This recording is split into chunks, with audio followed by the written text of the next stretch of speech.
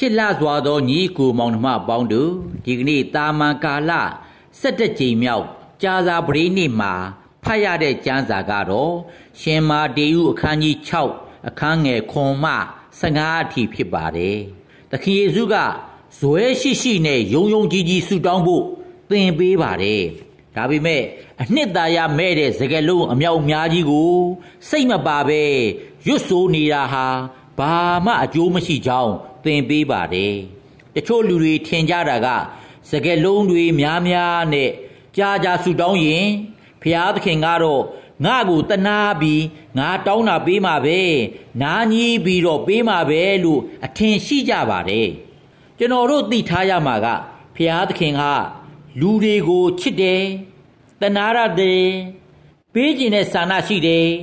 ယုံယုံကြည်ကြည်နဲ့ဆူတောင်းစေခြင်းနဲ့ နှိမ့်နှိမ့်ချာချာနဲ့ဆူတောင်းစေခြင်းနဲ့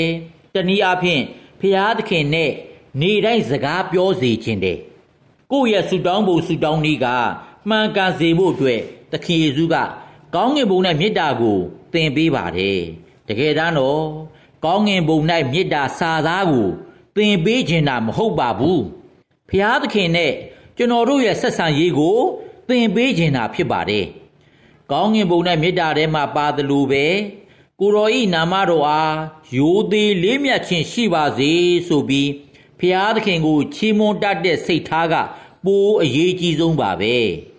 ကိုတော်ရဲ့နိုင်ငံတော်သည်ရောက်ပါစေဆိုတဲ့အတိုင်းလူသားတိုင်းရဲ့နှလုံးသားတွေဟာဖျားသခင်ကျင်းဝတ်စရာကောင်းတဲ့နေရာတွေဖြစ်ပါစေဖျားတရားစိတ်ထားရှိကြပါစေလို့ဆုတောင်းတာပါပဲ။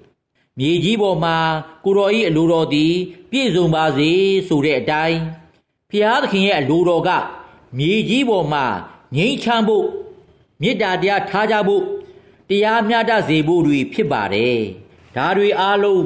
မြေကြီးပေါ်မှာဖြစ်လာစေဖို့အတွက်ဆုတောင်းလိုက်တာပါပဲ။မြေကြီးပေါ်မှာကိုတော်ကြီးအလိုတော်သည်ပြည့်စုံမယ်ဆိုရင်ကျွန်တော်တို့နိုင်ငံဒီမိုကရေစီရတာကြာပေါ့။ ကိုတော်ကြီးအလိုတော်ကလူအခွင့်အရေးကို လေးစားလိုက်နာစေဖို့ကိုကိုကိုချစ်တယ်လို့သူတစ်ပါးကိုချစ်စေဖို့ပါပဲကိုဆူတောင်းတာပြည့်စုံစေဖို့ကိုဘက်ကလည်းလောဘမကြီးပဲနေစဉ်မပြတ်အလိုရှိရသောအစာအစာကိုယနေ့၌ပေးသနာတော်မူပါလို့တောင်းတာပါဆူတောင်းတာရစေဖို့ကိုဘက်ကလည်းတရားမျှတရပါမယ် ကျွန်ုပ်တို့ကိုထိခိုက်ကျူးလွန်သောသူတို့ကိုကျွန်ုပ်တို့ကခွင့်လွတ်တကယ်သို့ကျွန်ုပ်တို့ရဲ့အပြစ်များကိုလည်းခွင့်လွတ်တော်မူပါဒါမှမျှတတာကျွန်တော်တို့ကခွင့်လွတ်တယ်လို့ကျွန်တော်တို့ကိုပြန်ပြီးခွင့်လွတ်ပါကျွန်တော်တို့ထဲအားကြီးလာတဲ့နတ်ဆိုးရဲ့နှောက်ယှက်ခြင်းတွေကကျွန်တော်တို့ကိုလမ်းမရောက်စေတယ်အပြစ်လုတ်စေတဲ့အတွက်ကြောင့်နှောက်ယှက်ခြင်းနဲ့မကြရောက်စေဖို့ကအရေးကြီးပါတယ် မတရားခံရတာတဘာဝဘေးဒဏ်ကတ်ယောဂါဒုက္ခဘောင်းစုံဟာ မကောင်းမှုတွေပါပဲ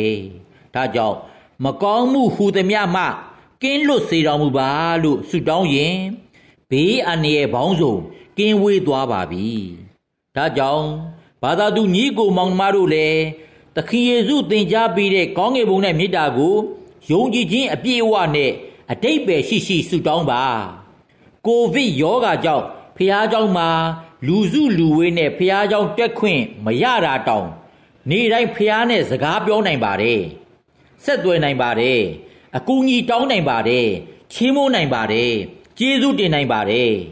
နားဆင်သူအားလုံးပေါ်ဘုရားသခင်ကောင်းကြီးမင်္ဂလာများခံစားကြရပါစေ။